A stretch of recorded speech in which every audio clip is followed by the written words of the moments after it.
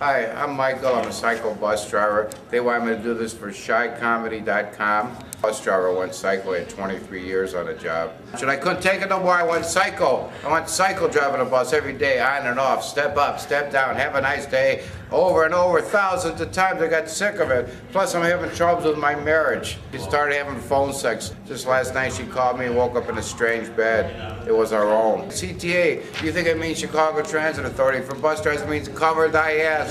When you ever beat somebody up, don't have no witnesses. A guy gets on a bus, bus driver, does this bus go to the loop? No, it goes beep beep. Sit down and shut up. Don't ask for stupid questions. I still make her scream during sex. I still make her scream. She screams, Are you done yet? Are you done yet? Are you done yet? I said, I didn't put it in yet. God damn it, I didn't put it in yet. What did the victim look like when he first saw the victim? What did the victim look like when you first saw the victim? The victim looked dead. The victim looked dead. The victim looked dead because he was dead. 99% of the time, if you look dead, you are dead. Except in the case of Michael Jackson. Okay, I gotta go now. I gotta drive the Addison bus right now. Take care. Goodbye.